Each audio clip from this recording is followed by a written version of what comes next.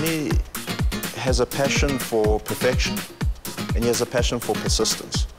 I mean, I think those two traits, you can pretty much achieve anything in life. I, don't think he has ever not been a geek. I, I mean, I didn't know him prior to being a geek, but I imagine that he will remain a geek. And that's a great thing.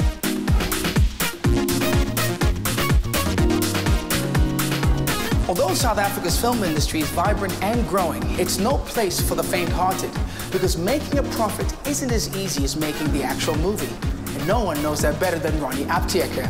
After producing a string of unsuccessful movies, he finally nailed it with last year's box office hit, Material, a film that stood him in great stead on the international film market. It seems his never die attitude finally paid off after 11 years of trial and error.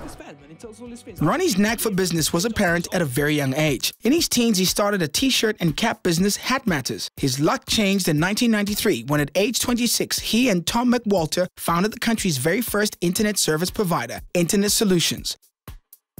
You've been a nerd all your life, and now you're a cool nerd. What's that like? I've always been a cool nerd. I was a risk taker.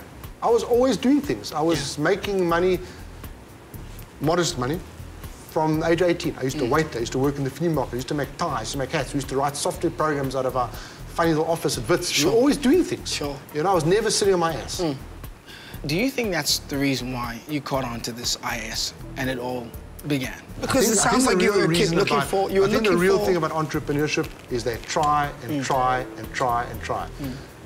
I can't say that I tried in the formal sense because I was a student, mm. but man, I tried many things. And I could have been in the tie and t-shirt business today if that had worked. Yeah, hat matters.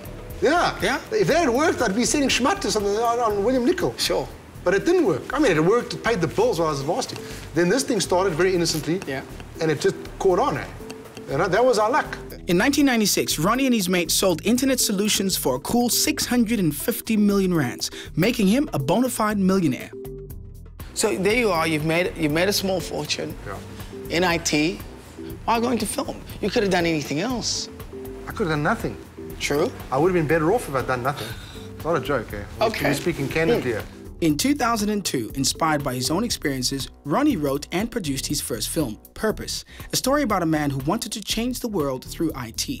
Despite the 2 million rand budget it took to make the film, the movie tanked, breaking both his bank balance and almost his health. Take me back to that experience. And what, what got you to get into film especially that film.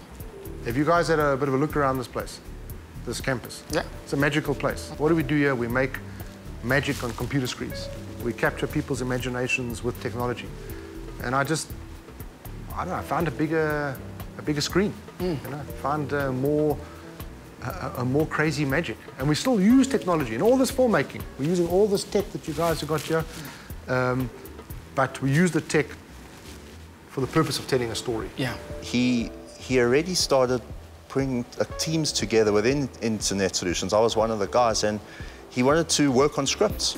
Crazy stuff. We had, uh, we had already made little movies.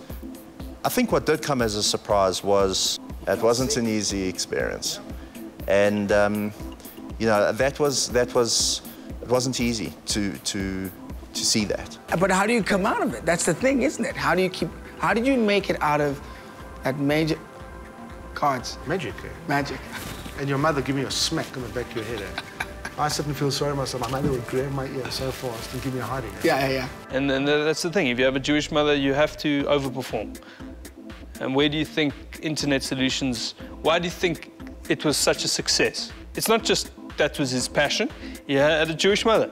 And for those of you who are achievers who don't have Jewish mothers, I really respect that that took extra effort. How did money affect you, having it? How did it affect me? Yeah. It didn't change me. I'd like to think it didn't. Yes. But it allowed me to enable other people's dreams. Sure. And my own. Sure. It was also my dream that. Sure. It, it allowed me to take more risks. But it also, it also lets you get hurt. Okay. Because you take some money, mm -hmm. make a film, get a hiding, end yeah. up in litigation, mm -hmm. end up making a fool of yourself. Yeah. Then you do it again because, as my one mentor taught me, some mistakes are too good to only make once. So you get another hiding. Mm -hmm. And then you think, yes, I say, you know, if I didn't have that money, I didn't get those hidings, I was actually, everything was nice, ignorance is bliss. Everything was nice and, and, and, and, and, and stable. Now you're taking risks and you, you know, it's one thing to make money, it's another thing to lose it. You don't feel good about it, you know. After a string of unsuccessful films, he finally had a taste of victory. Material was not only the talk of the town, but it also became the second non-Afrikaans movie to make a profit in the country since the film The Gods Must Be Crazy back in the 80s. That's why I said you need the losses to Yeah. actually make you appreciate when things do go right. Gotcha. Like we couldn't have done material if we hadn't failed so many times before. Yeah. And when it did happen, even though it was a modest success, it wasn't some global phenomenon. Absolutely. We appreciate it every day. Sure. Because it was so hard to get there. Sure. And now we want to capitalize and grow and learn from what we Sure. built and, and get better and make a better one. You know, Yeah. a better, a better story and tell a better story next time. But at least we've got a benchmark and some credibility. But Yeah. man, it's hard to get there. eh?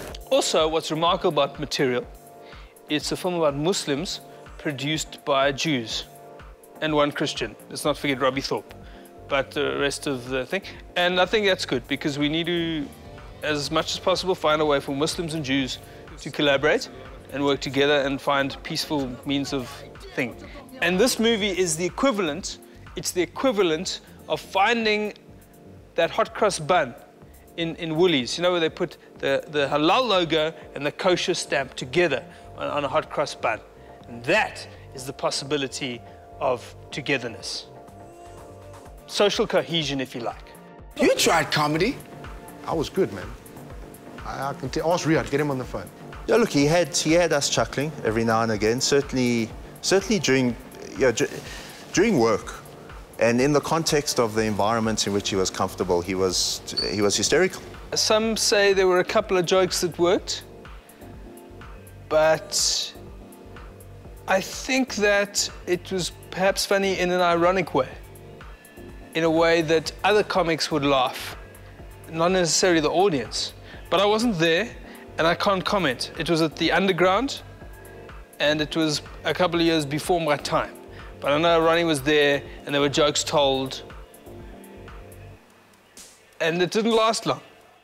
Movies and beyond. Is that is that is that where this is Well, going? we got uh, we, we're busy with a new IT uh, uh, venture, creating mobile apps and creating computer games. Uh, uh, and then we are busy. Uh, well, the big work right now is on Nothing for Mahala, and I'm anxious. As you know, this stuff is hard. Yeah. There's no other word. It's Yeah. a it's a gamble, and the chances of success here are one in a hundred.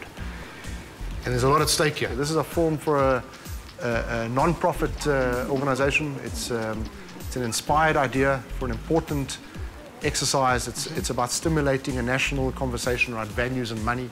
So we are praying that it works. This entrepreneurial streak is no fluke for a man born of immigrant parents who taught him the value of hard work.